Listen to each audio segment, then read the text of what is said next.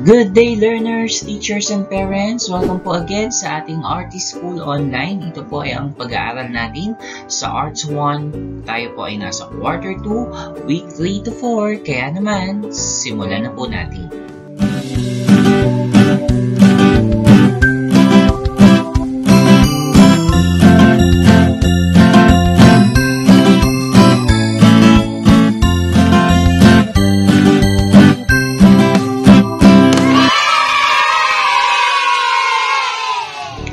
Again, ito po ay Arts 1 Quarter 2, Week 3 to 4 na may pamagat na pagpipinta ng paborito kong jeep o disenyong pampiesta. Ang ating ginamit na module ay mula sa ADM module na ibinahagi sa atin ng DepEd.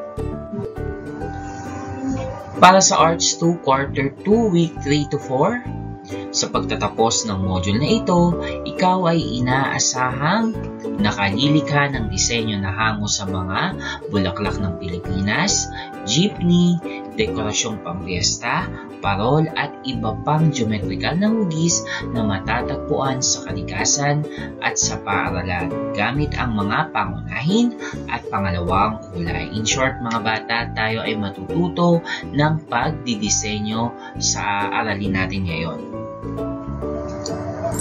Art kaalaman na! Ayan, bago tayo magsimula sa ating aralin ngayon, balikan muna natin yung ating nakaraang aralin. Ayan, tukuyin ang sekundaryang kulay na mabubuo ng pinagsamang kulay sa bawat item. Ayan, so number 1, ito ay kulay uh, asul o bugaw. Pag isinama natin sa kulay pula, anong sekundaryang kulay ang lalabas? Tama, ang sagot ay lila.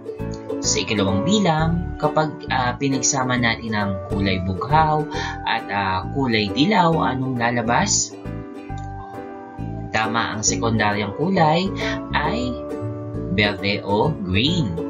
Ayan, so number 3. Kapag pinagsama naman natin ang kulay pula at kulay dilaw, anong lalabas na sekundaryang kulay? Tama, ang kulay ay dalandan o orange. Ayan, uh, bilugan naman natin ang mga larawan ng jeep. Tapos, kakahunan naman natin ang mga parol. Ayan, simulan nyo na. Okay? Ito ba ay binilugan nyo? Ito ba ay larawan ng jeep? Tama kayo. Meron pang isa. Ito. Ito ay isang larawan ng jeep. At meron pang pangatlo. Ayun, nasa baba. Yan, bilugan natin ito dahil ito ay isang larawan ng jeep. Ayan, kahuna naman daw natin ang mga parol. Yan, nakita natin. Ito ay isang uri ng parol. Meron pa ba? Nakita niyo ba ito? Okay, ito ay isang uri din ng parol. May pangatlo pa. Ayun, nasa ibaba. Ayan, ito ay isang uri ng parol. Ito rin ba ang sagot nyo? Art, galing nyo naman. Ito pa, balikan naman uli natin yung napag-aralan natin tungkol sa mga kulay. Yan, pagtugmain lang natin ang hanay A at hanay B para sa unang bilang. Yan, kulay asul o bughaw. Ayan, connect natin dito. Ayan, sa ikalawang bilang, ito ay kulay pula. Tama. Ikatlong bilang, ito ay kulay dilaw. Ayun, i-connecta natin sa hanay B. Ikaapat, ito ay kulay dalandan. Tama. So, i-connecta natin dito sa dalandan. Ang ikalima, ito ay kulay berde. Ayan, i-connect natin dito sa berde. At ang ika-anim, ito ay kulay lila. Ayan, connect natin sa hanay B kung saan may uh, lila. Ito rin ba ang sagot nyo? Art, galing nyo naman. Beep, beep, beep, beep. Beep, beep, beep, beep. Ano ang tawag sa sasakyan na nasa larawan? Nakasakay ka na ba dito? Nakikita mo ba ang uh, pangunahin at pangalawang kulay sa sasakyan na ito? Ang jeepney o jeep ay isa sa mga pampublikong transportasyon sa Pilipinas. Ito ay bahagi ng kulturang Pilipino. Ito ay kadalasang may kaakit-akit at makulay na disenyo. Ano-ano nga ba yung mga makukulay na disenyo ng jeep? Isa-isahin natin. Ang disenyo ng jeepney ay kadalasang may mga hugis na parang banderitas, meron din mga ribbon, Siyempre, mga magagandang linya. At mga naipintang larawan gaya ng uh, watawat ng Pilipinas. Meron dito mga maraming ilaw. At iba't ibang kulay. Yan ang disenyo ng ating uh, jeepney o jeep. Bukod sa jeepney, marami din tayong makikitang disenyo sa isang piyesta. Nakasaksi ka na ba ng isang piyesta? Bawat bayan at bawat barangay sa Pilipinas ay nagdiriwang ng piyesta. Pero nauunawaan ko yung ibang mga uh, bata na hindi nakakaranas nito dahil uh, may iba-iba tayong paniniwala, paniniwala at relihiyon. Nagiging masaya ang pagdaraos ng piyesta dahil sa mga dekorasyon. Isa-isahin natin yung dekorasyon sa isang piyesta. Ayan, ito yung mga dekorasyon sa pagdaraos ng piyesta. Meron tayong mga makukulay na banderitas, mga bilao, payong, sombrero, at mga bulaklak na gawa sa papel. Yan yung kadalasang dekorasyon sa pagdaraos ng piyesta. O nabanggit natin ang uh, bulaklak, ang ating bansang Pilipinas ay mayaman din sa mga iba't ibang uri ng bulaklak. Meron tayong mga waling-waling, rosas, gumamela, yarubel, at sampagita. Ito yung mga ilan lamang sa mga kilalang mga bulaklak na makikita natin sa Pilipinas. Ang mga bulaklak ay may iba't ibang itsura, hugis, laki at kulay. Sa pagmamasid natin sa mga ito, nakabubuo tayo ng ating sariling disenyo. Maging sa mga bulaklak, makakakuha din tayo ng mga iba't ibang ideya sa pagdidisenyo. Ayan, uh, mula sa jeepney, sa mga dekorasyong pampiesta at bulaklak, nakapili ka na ba ng gusto mong disenyo? Bahagi rin ng kulturang Pilipino ang pagsabit ng parol tuwing Pasko. Ang mga parol ay may makukulay at pagagandang disenyo rin. Yan, mga nakikita natin mga makukulay na parol tuwing Pasko. Yan yung itsura ng uh, uh, mga disenyo na makikita natin sa mga parol. May nakikita ka bang mga hugis o tinatawag nating geometric shapes sa parol? Ano-anong mga ito? Makikita natin sa parol ang mga sumusunod na geometric shapes. Meron din sa mga bilog, rhombus, star, at triangle. Sa parol yung sinabi, yung mga hugis o geometric shapes na nakita nyo?